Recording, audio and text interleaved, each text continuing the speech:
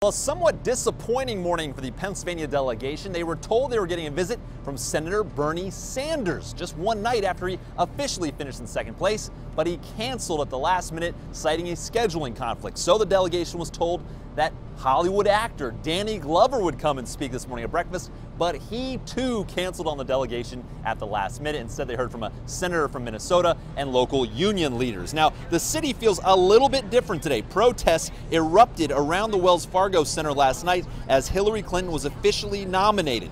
Philly police were praised, however, by Mayor Jim Kenney for how they handled the protesters last night. They're taking more of an approach of not arresting folks, but instead handing out citations. Now, the delegates we've spoken to are just looking ahead. As we speak, Auditor General Eugene DePasquale is making a presentation to the Pennsylvania delegation, and then tonight, all eyes and all attention back at the Wells Fargo Center. Vice President Joe Biden talks, and then President Barack Obama wraps up the occasion this evening.